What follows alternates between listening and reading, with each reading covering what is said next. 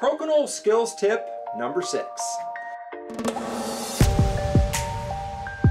Last week in tip number five, we talked about the concept of getting your opponent's button knocked out of that 15 circle all the way into the gutter. And we even had arrows to help you visualize and reverse engineer your shots. Was that really just last week? It feels so long ago. Winning at Crokinole isn't always about being able to make every single shot. Sometimes it's just knowing what you're able to make happen on the board. And that is what this week's tip is all about. This week's tip is similar to last week's tip or drill in that I want you to practice and see what you can and cannot get off the board. But this time, once you get warmed up, I want you to intentionally make this drill more and more difficult for yourself. The idea is that this is an experiment to see how close your opponent's button can be sitting to that peg and you're still able to get the off. Now this is something you can just naturally practice when you're playing during a game against an opponent to see what you're able to pull off and what you can't. And it is also something that you can sit at the table and do and just constantly be setting those discs a little bit closer, a little bit closer. As you do this, I want you to test yourself and see which angles and positions you're able to successfully get the off and which ones you're not and you're better off to play it safe for a little bit of a bounce back and wait for a better opportunity on your next shot.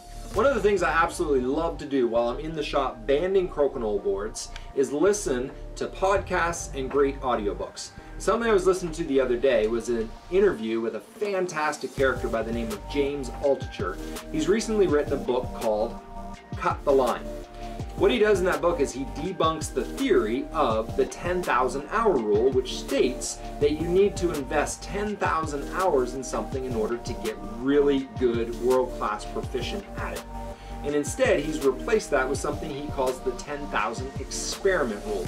He looks at literally everything in his life as an experiment. And really, the, the great side effect of this is in an experiment, you can't fail. You can't be wrong. You can't make mistakes because all you do is you try something and you get feedback. That is exactly the attitude and energy that I'd encourage you to take with this drill. You just practice this and you're not good or bad when you make a shot. What you're doing is you're getting feedback and learning what you're capable of doing and then you can take that into your next crokinole match and be even more effective in making decisions of whether to go for the off or to play it safe. Now that's your assignment for the next week is to go ahead and experiment and play and get that feedback to see what you're able to do inside that 15 circle. And what we've noticed is one of the most popular tips we've done was a challenge. So that's what we're gonna get back to next week. A really fun challenge that's gonna allow you to practice a great skill that's gonna serve you in future crokinole matches. Stay tuned. When you say next week, do you mean next week or do you mean 2022? I forgot to say, I forgot to say,